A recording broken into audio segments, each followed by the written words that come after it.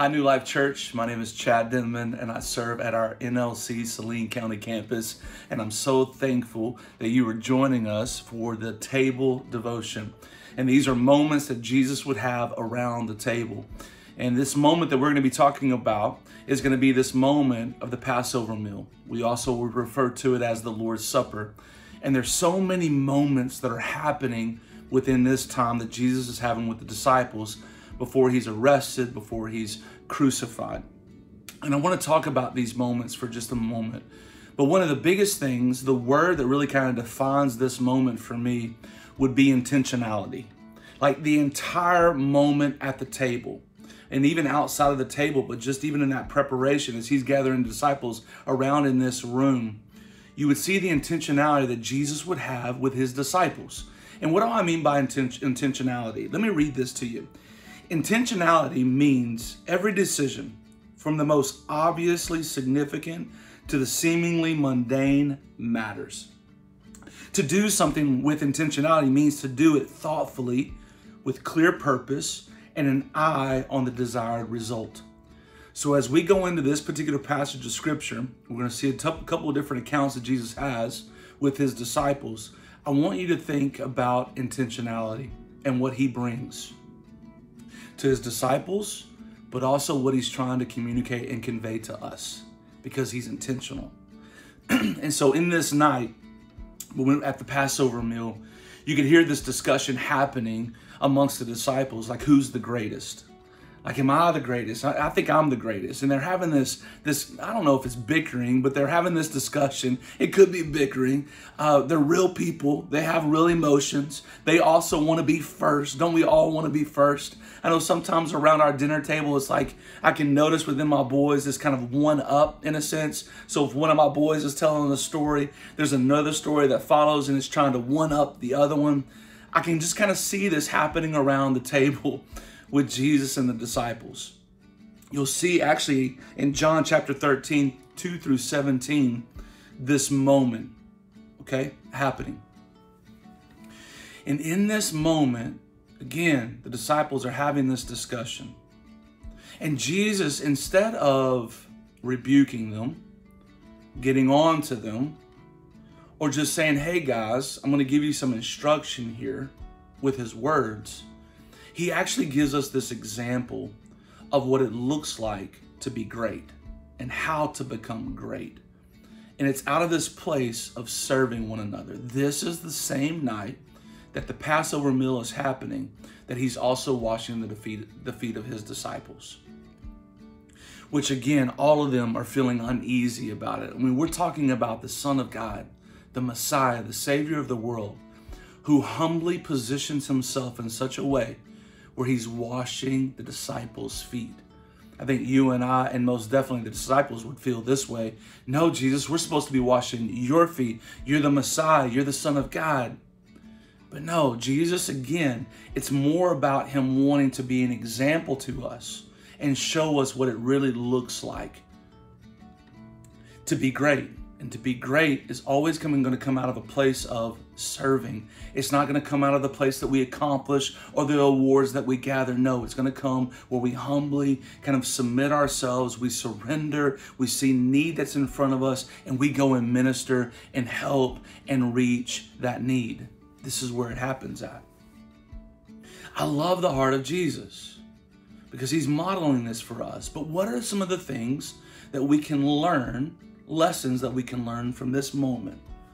You can see this account, Matthew chapter 6, uh, I'm sorry, 26, 17 through 35. It says, Jesus celebrated the Passover meal with his disciples on the evening before his arrest and crucifixion. Let me give you some backstory. The event is often referred to as the Last Supper or the Lord's Supper. And during the Passover meal, Jesus instructed his disciples to eat bread and drink the wine in remembrance of him. We'll talk about that in just a minute. But this is also the night that he washed his disciples' feet which was a, sim, sim, a symbolic act of humility and servanthood.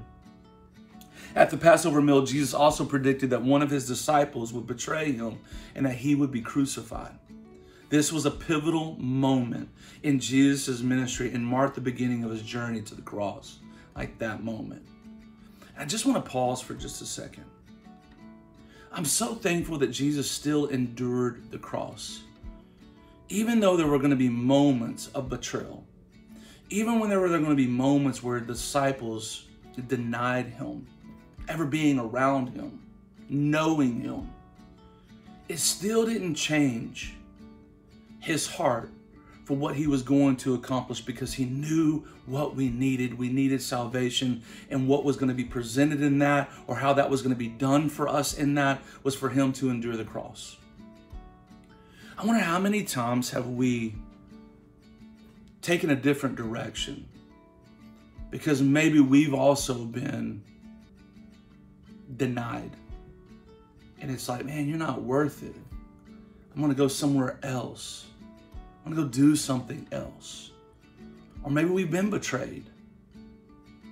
I love how Jesus' heart was just set on what he needed to accomplish for me and you, and he didn't lose sight of what the Father had asked him to do. Because if he would have taken a different course, me and you would not know this hope. We wouldn't know this salvation. We wouldn't have this new life. We wouldn't know forgiveness. We wouldn't know this grace and this love let's just keep going. a lot to unpack right there. But the Passover meal that Jesus shared with his disciples offers several important lessons that I believe that we can learn from. One of those is just again, the meal was one of teaching, fellowship. It was foretelling of his impending sacrifice for redemption of humanity. So, in this moment, I think again, with the Passover meal and with the Lord's Supper, this particular context of Scripture, he's going to be showing us the importance of fellowship. Like Jesus gathered with his disciples to share a meal and spend time together. The emphasis, the value of community, and the importance of gathering together with other believers to encourage, support, and strengthen one another. That's one of the things, that's one of the lessons that we can learn from this moment. Another thing is, is just the importance of humility. By washing his disciples' feet, Jesus demonstrated the importance of humility and servant leadership.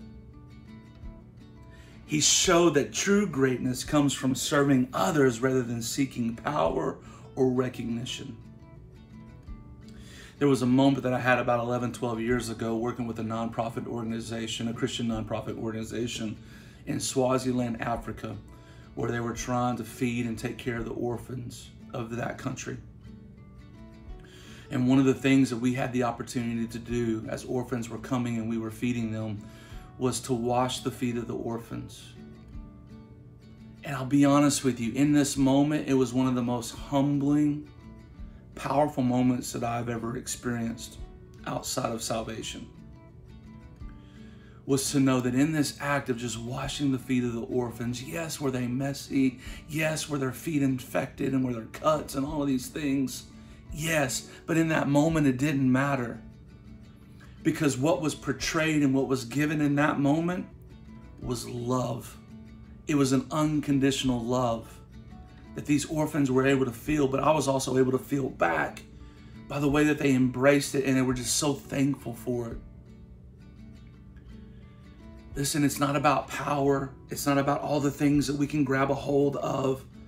It's not about recognition. It's about humbly positioning ourselves in a way where we see need that is around us. It's not about us, it's about the people that are around us. And this is where it gives way and gives opportunity for people to encounter Jesus. Like his love, because it's unconditional, it's sacrificial, it's putting his needs aside to be able to be that help and to be able to fulfill that need that's in front of them, which was us. This is the reason why he endured the cross. Another lesson that we can learn is the reality of suffering. Like Jesus predicted his own betrayal and crucifixion during the Passover meal, demonstrating that suffering is an inevitable part of the Christian life. It's going to be uncomfortable. But he also showed us that even in the face of suffering and death, there is a hope in the promise of resurrection and eternal life. Like there's a hope of knowing that the Spirit of God lives within inside of us, who's going to carry us through those suffering times, through those challenging times, and is going to use us as an example of what it looks like to have that strength, to have that joy, to have that peace that passes all understanding. People are going to ask, What do you have that I don't have? How are you able to stay secure and stable and strong in the midst of the things that are happening around us? Well, it's in Christ. But thinking about, again, the Lord's Supper and the breaking of bread and the covenant, the blood, the wine that they drank was in this place of just remembering the ultimate sacrifice. So, whenever you and I go into this Easter season, specifically Good Friday, and we take that bread and we eat that, remember the crucifixion, remember his body and what it endured, the sacrifice that he made for me and you, for the redemption of our lives, the forgiveness of our sin. And then as you drink, remember that represents the blood. It's forgiveness, it's his grace. This is where we find new life. It's all because of him. Thank you, church. I love you a lot. Happy Easter. God bless.